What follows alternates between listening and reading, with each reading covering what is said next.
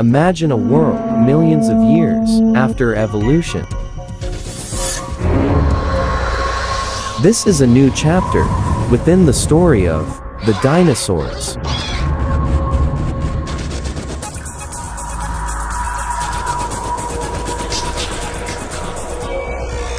Our modern world is home to an ecosystem of different creatures. Now their future is prehistoric.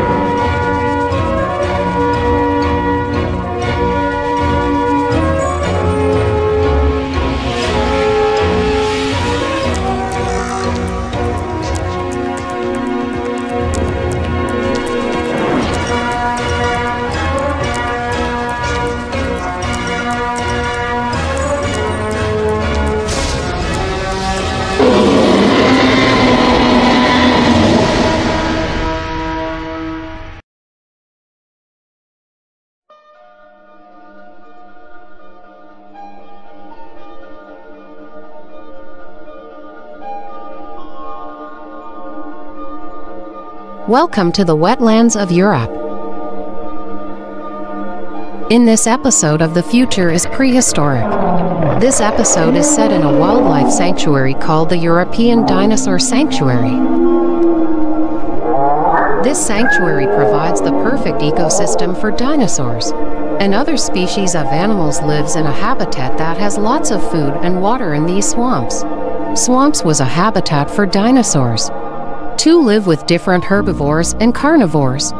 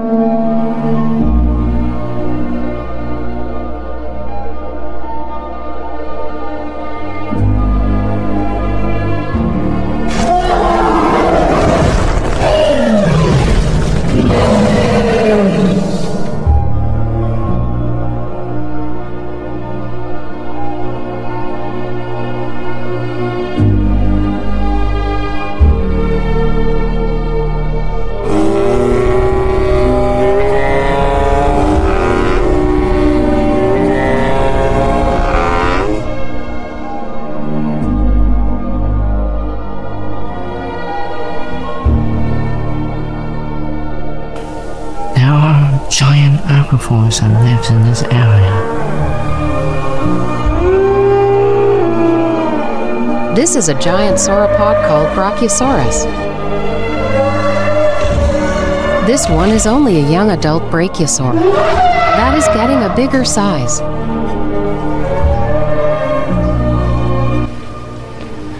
And this famous image it shows a variety of different dinosaurs from Parasaurolophus and Kinosaurus and Stegosaurus. But the biggest animal in the Jurassic Park franchise is recognizable by so many people, and that is this creature right there. It is simply known as the Brachiosaurus. This is the true size of this animal, making it one of the largest dinosaurs in the Jurassic period. Brachiosaurus is one of the first dinosaurs that has longer front limbs than its back limbs with a long neck that held straight up to help eating tall trees like Monkey Puzzle. As the other sauropods are drinking like this Apatosaurus herd, there are giant predators in this sanctuary that are not just dinosaurs. This young brachiosaur has entered somebody's territory. And this is not a perfect habitat for a giant herbivore. This is a species of a prehistoric giant alligator. This male Deinosuchus is guarding his habitat to prevent any animals to eat or stomp his female's nest.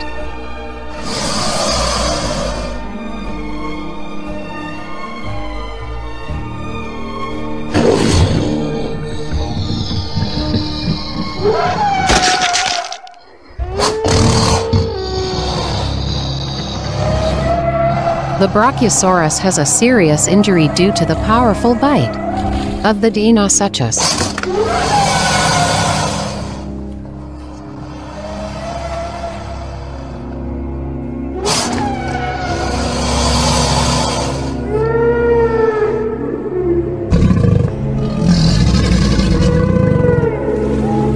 The poor giant has lost a lot of blood due to the bite force of the giant alligator.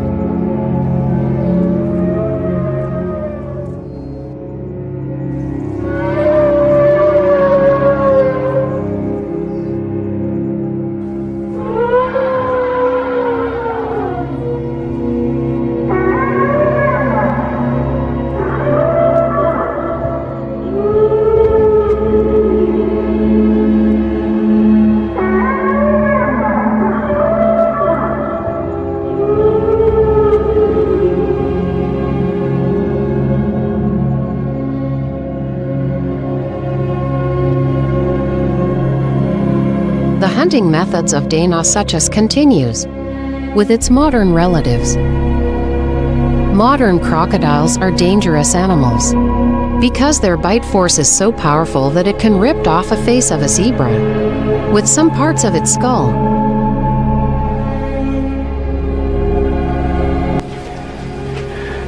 To get the idea of how powerful the animal was, this is an image of a Deinosuchus hunting down a dinosaur called Calyphosaurus. And in detail in this picture, it shows that the Deinosuchus can do something called a death roll, which is how modern animals like crocodiles or alligators can attack their prey in the water and do like a a wall or to um, kill its victim very fast because Deinosuchus's bite is around 18,000 newtons. And if this creature was about to attack you with 18,000 newtons in its bite force, it could probably kill you like straight away, making them one of the most powerful bite forces in the animal kingdom. Deinosuchus is so dangerous in the Cretaceous. This makes it one of the largest crocodilians in the world. The reason the male attacked its victim because the female is watching its eggs.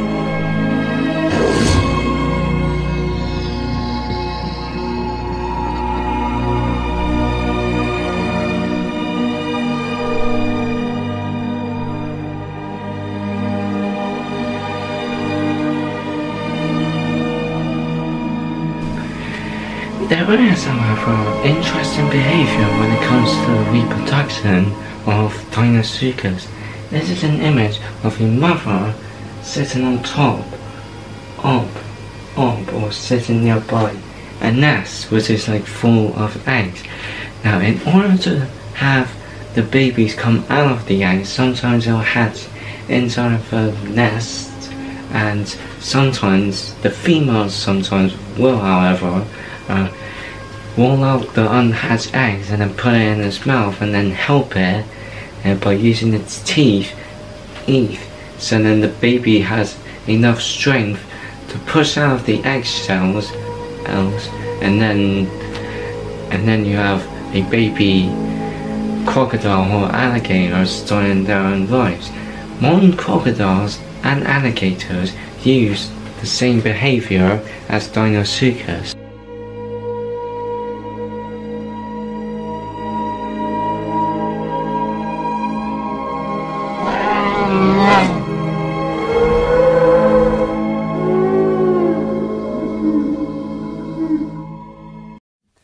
I paused this part of the video because the Wi-Fi wasn't working while I was doing the narration for the text-to-speech and like the voices of the different actors in the CapCut app so um, I got to do some for now and subscribe if you want more videos like this. The swamps are home to a variety of different herbivores and carnivores but there is one giant that lives there throughout life on this planet. Meet the giant sailback, Spinosaurus aegyptius. It is basically a T-Rex sized crocodile well, with a long tail that is used for swimming, long legs, a pair of huge arms with three claws, and a giant seven foot tall sail on its back. And that basically what a Spinosaurus is.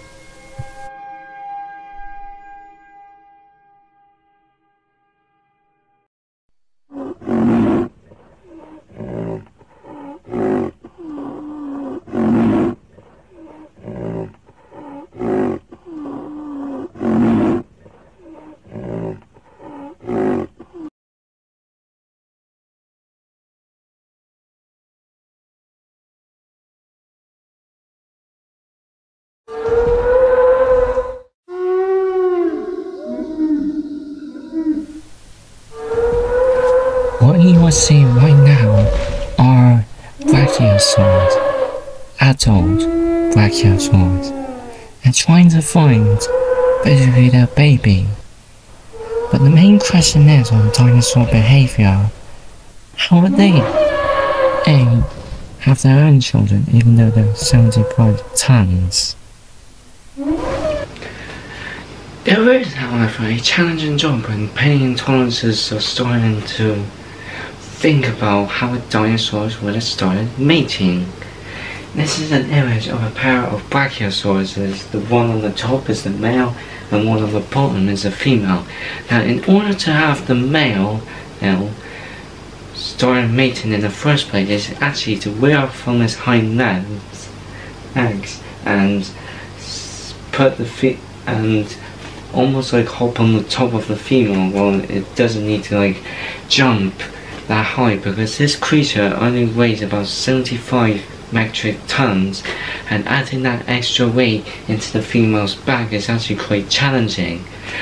There is a fossil of a Tyrannosaurus rex named Sue and in some parts of the, in the tail's vertebra of Sue the T-Rex it actually quite stumbled on and when the T-Rex, a male Tyrannosaur, would have mm, started mating on her when the tail got trampled, ampled or stepped on in the first place.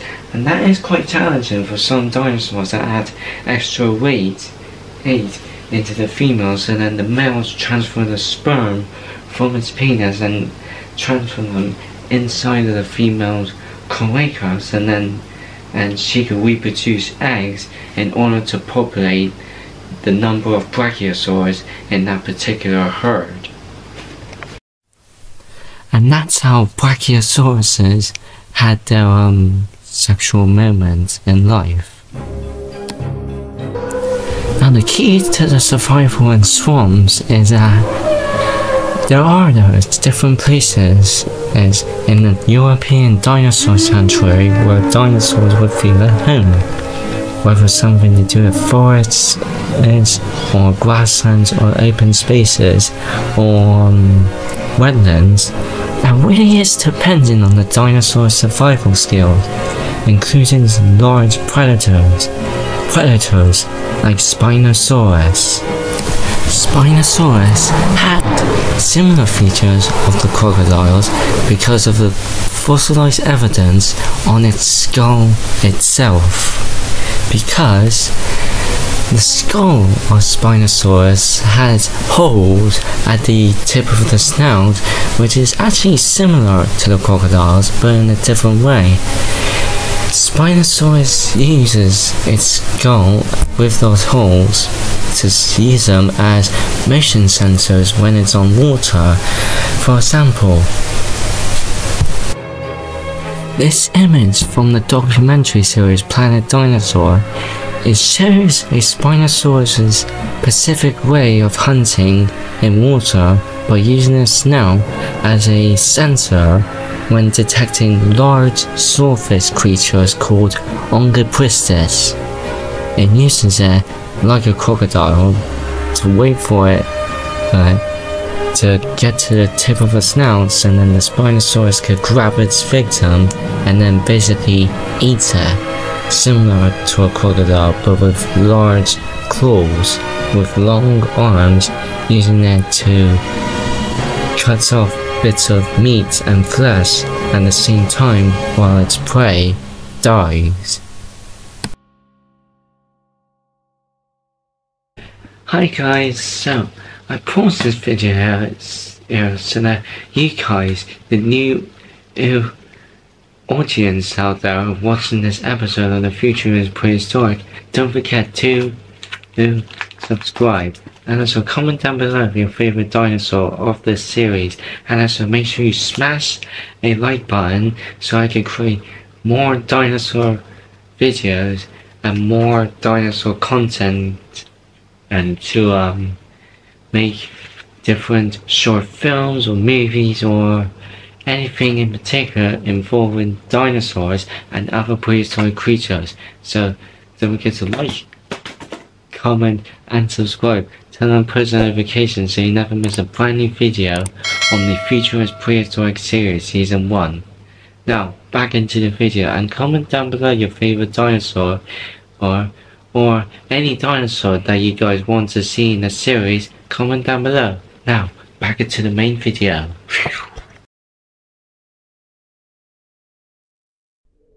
The Spinosaur is at the Deinosuchus' territory. And this is a dangerous place for a large animal.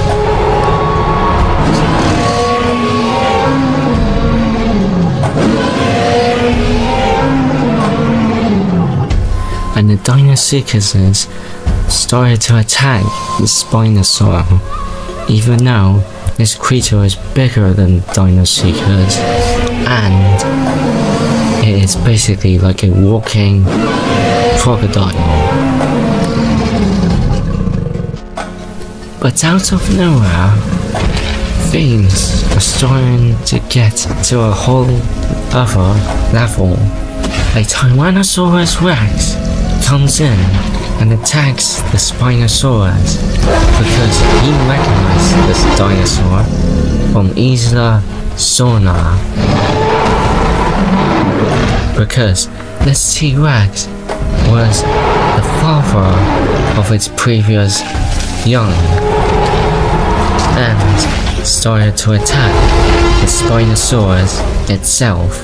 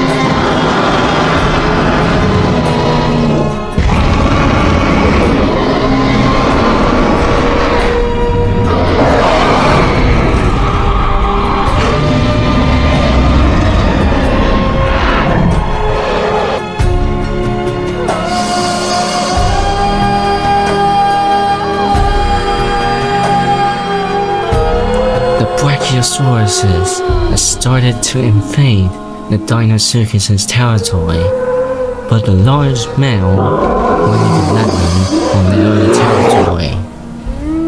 Because the Brachiosauruses know that this creature is the murderer for their young. And so, instead of invading their territory, they walk away because they already know that they are starting their own family in the prehistoric like swamplands.